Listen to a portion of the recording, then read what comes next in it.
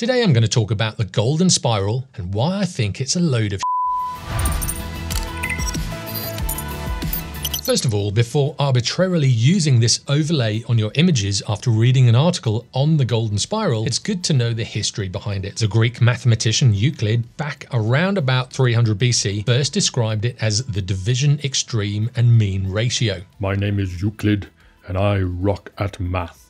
He came to the conclusion that if you draw a line and break it into two parts, if the ratio between those two parts is the same as the ratio between the overall length and the larger part, the parts are said to be in the golden ratio. That's right, b****s. This is also closely related to the Fibonacci sequence, which is said to date back to the time of Pingala, which was around about 450 to 200 BC. Pingala was the ancient Indian author of the Chandah Shastra, also called Pingala Sutras, now, if I've pronounced any of those words badly, I do apologize. The Fibonacci sequence is basically a series of numbers where every number is made up by adding the previous two numbers together. Now, by taking the ratio of successive Fibonacci numbers, you can get closer and closer to the golden ratio. Now, from 300 BC right through until around about the 1500s was all a little bit quiet until the Italian Renaissance. And this is where the golden ratio started to get its notoriety. Mathematician Luca Pacioli wrote a book called De Divina Proportione, which basically means the divine proportion, and he wrote that in 1509. Check out all of my math gadgets. I'm way cooler than Euclid. Pacioli used drawings by Leonardo da Vinci that incorporated the golden ratio, and it is possible that da Vinci was the first to call it sectio aurea, or the golden section. Now, in the 1800s, the American mathematician Mark Barr used the Greek letter phi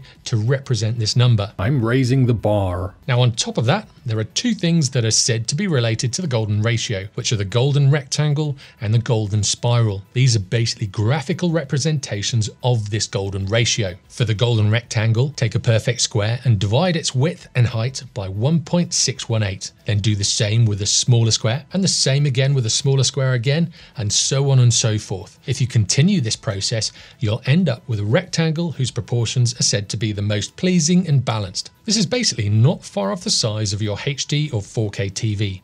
Not quite the same, but almost. Now the golden spiral can then be created by drawing a quarter circle in each of these squares, getting tighter and tighter as the squares get smaller. Everything from the pyramids to the Greek Parthenon are said to have used phi in the design with a golden ratio being used to work out the length and height of those said structures. The problem is that a lot of the time these are approximations, or if it's close enough, it's considered to be the golden ratio. So instead of being perfectly fitting, it's a roundabout right. Now, this sounds a little bit like my approach to pretty much everything, but that's a different story. Now, I've read quite a few articles defending this approximation, but this is using maths.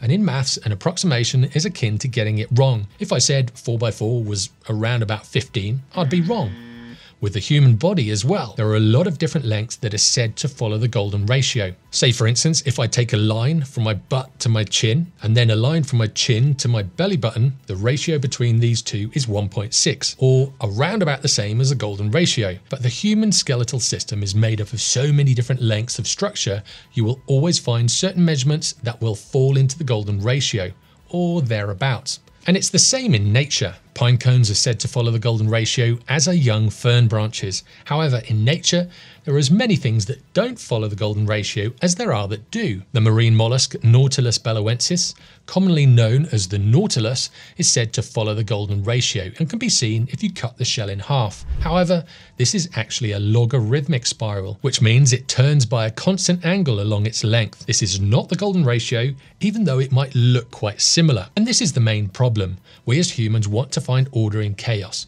We want to find patterns even when there aren't any, and close enough seems to be the norm for the golden spiral. Now, back to photography, this attitude of close enough seems to fit pretty much every example I've ever seen of people trying to relate the golden spiral to their photography. Just do a Google search on the golden spiral in photography and you will find hundreds of images with a golden spiral laid over the top of them. And most of the time, they've just put an element of the photograph or part of their subject on the tightest part of the spiral or near where that spiral tightens, with no other relation to the spiral whatsoever. Even shots of spiraling staircases don't fit it perfectly, and it is a case of, well, it's close enough, so that'll do. So whether you place the golden spiral over a rose, a nautilus shell, a hurricane or a wave, or any kind of photo for that matter, sometimes it'll be quite close, but it'll never really fit that well. One thing I think that this does denote is a kind of hierarchical class system where people who think they're using the golden spiral to get better photos are just kind of lavishing in belief perseverance. They must be better as they're connected intrinsically to the masters of art and even Leonardo da Vinci himself. And therefore, they're definitely not a novice or a beginner. And this is why I think the golden spiral is bull.